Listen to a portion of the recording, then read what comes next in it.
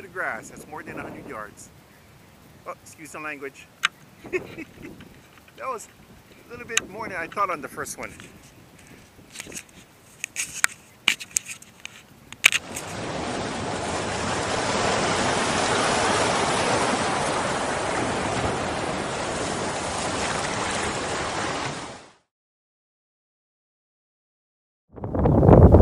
This is the rod I'm practicing with today. It's a 12 foot heavy duty casting Ocean Master. This is put out by Bass Pro. Really heavy duty. As you can see by the stats here, it's 12 foot surf caster for conventionals, 6 to 12 ounce lure weight. Going to use a beautiful Newell 338 loaded with for over 400 yards of 80 pound braid.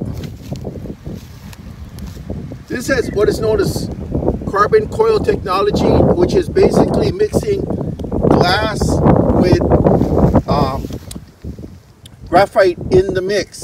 And when you do that, you're going to get the snap to send it out, but you're also going to get the uh, strength that fiberglass allows.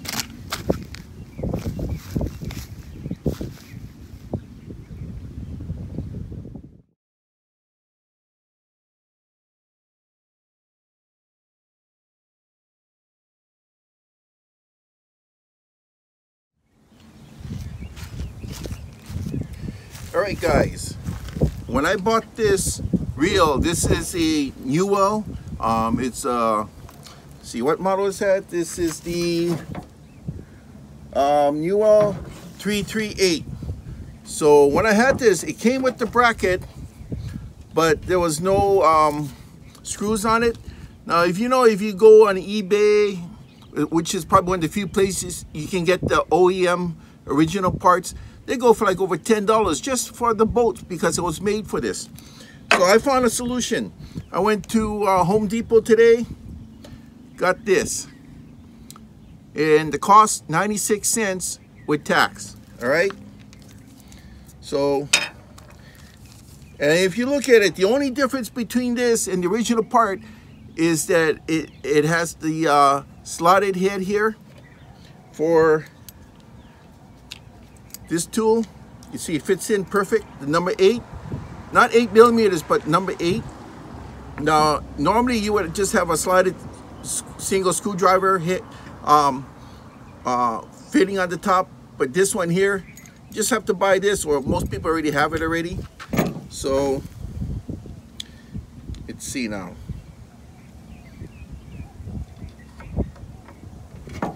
And this, the reel seat on on this reel uh, on this rod it's kind of thick. It's the uh, Ocean Pro. It's a 12 footer. You saw me doing a um, recent unboxing. I got I got two of these. This is the uh, the uh, one for casting. It's the C model, so this is meant for conventionals. The S model is for heavy duty spinners. But as you can see, the three quarter works perfect on this. So it's so you know it's up to you. Um, a lot of people like to go with the original parts. This is fine.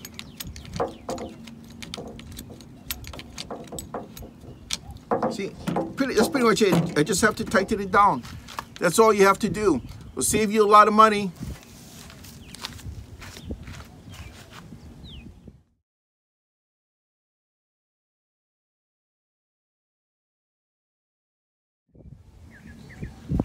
Okay, this rod is a heavy duty rod. It's rated for 6 to 12 ounces, which is a lot. So a good range.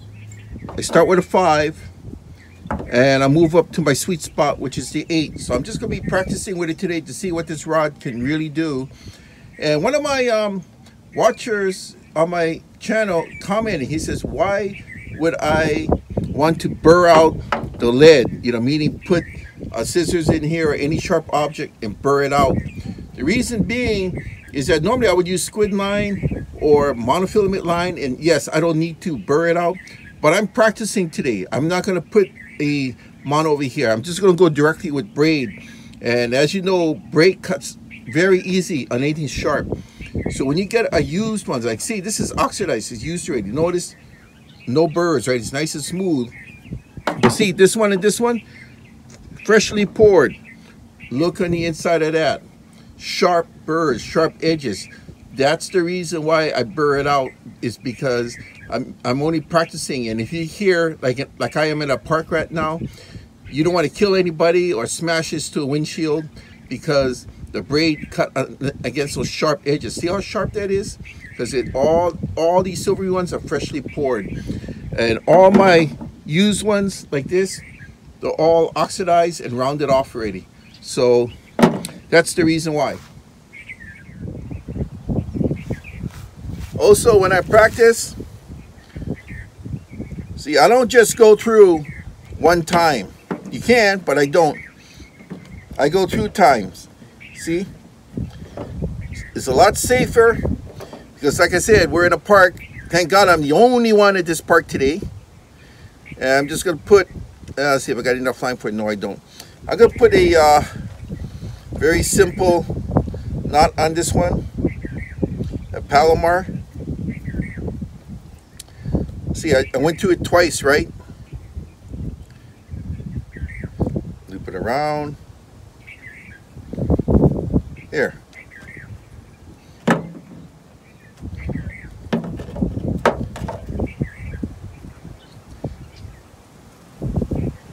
Uh, no need to cut it off, just leave it like that.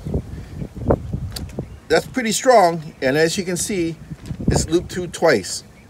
So it's for added security that it's not going to break off.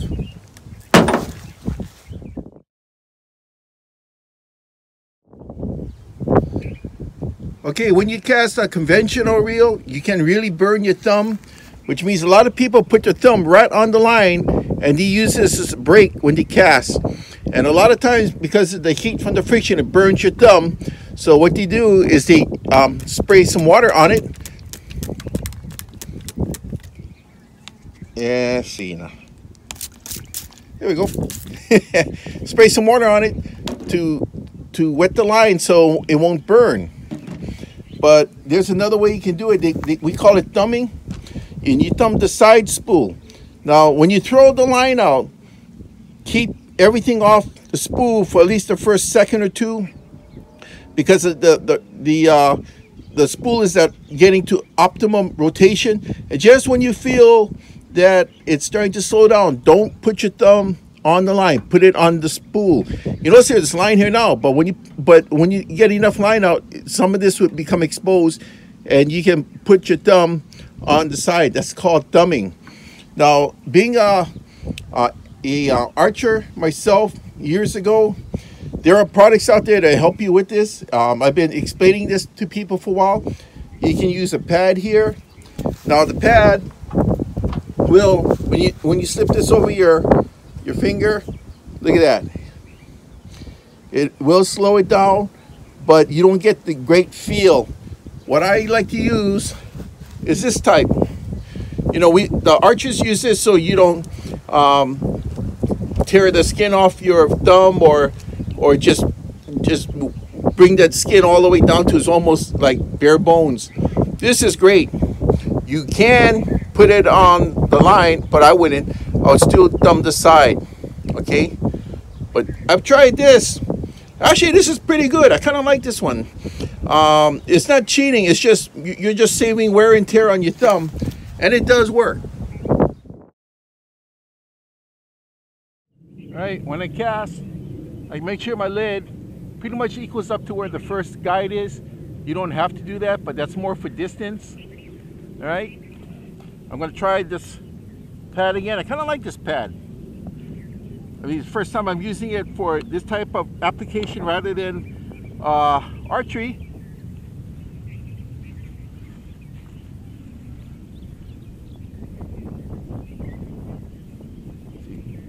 Swing away. As soon as it swings in,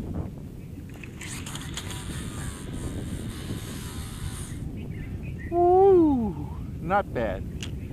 Not bad at all. Okay, I'm just gonna place this one on the ground. See how it's I, I, I place on the ground and then I'm walking back until the line's taut. that's what we want.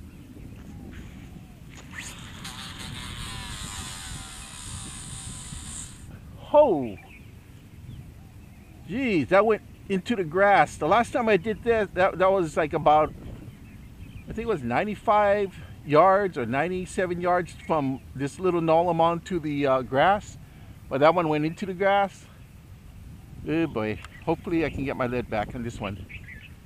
All right, this cast, I'm just going to set up, see what I normally do is I bring the lead closest into me like that. See how the line stretches out? I bring it, the, the lid closest into me as possible like that. And then I keep the line straight and that's how I normally throw it. But let's just say we're gonna put this one further out like there, stretch it this way, okay?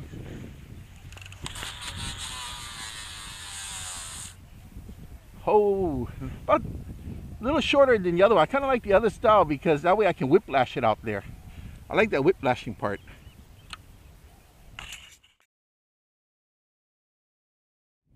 So I'm going to use my uh, digital electronic uh, measuring device here. I'm going to clamp that on near the tip.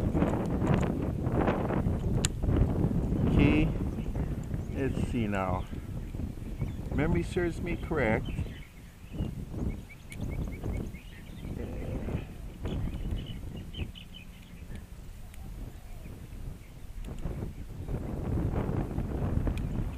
There, just loop it around. And that should be good. Let's see what we got here. You notice I'm in uh, direct line here, so this is my starting point.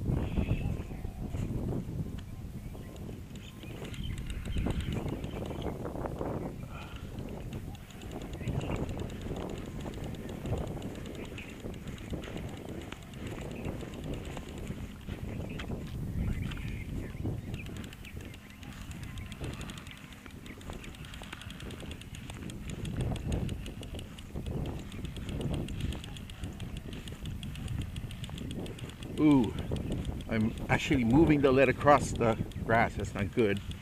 Walk a little bit faster.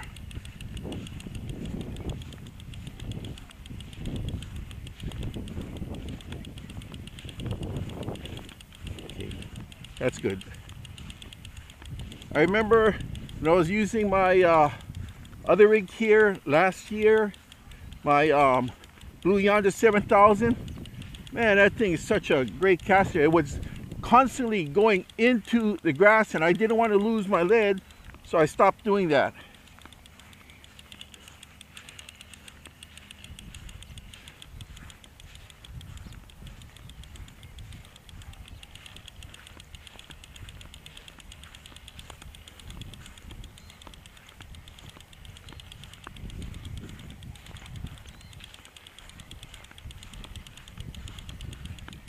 While I'm walking, I'm using my thumb to get the line back onto the spool, but you try to do it tight. You don't want it too loose.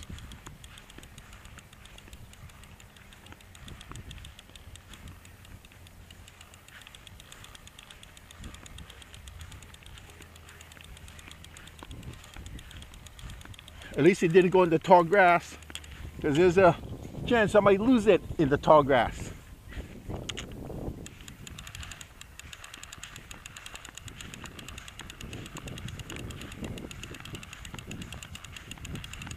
Maybe it is in the tall grass. I didn't think it went that far.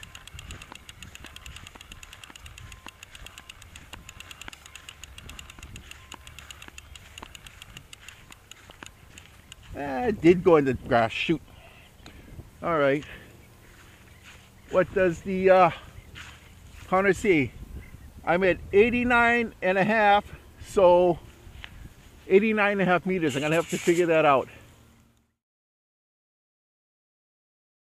Okay, I just cut my lead off my line and I threw the excess in the garbage can. Make sure you don't leave any of this stuff around. I talked to the park guys over here. Uh, they don't mind you coming and practice at the soccer field, but you know, they're trying to maintain the field and when you leave lead on the ground, what happens is is the the, the lawnmower goes through, hits it, and there's a five sometimes a five thousand dollar bill the city has to put up to repair that lawnmower, all because some people leave these behind. So and they came up and talked to me. They said they know who I was, but to please put out a message to anybody who wants to use continually use the park. Please pick up your lead. Otherwise, in the future, they're not going to allow us anglers to come here and practice anymore. Keep that in mind. Thank you.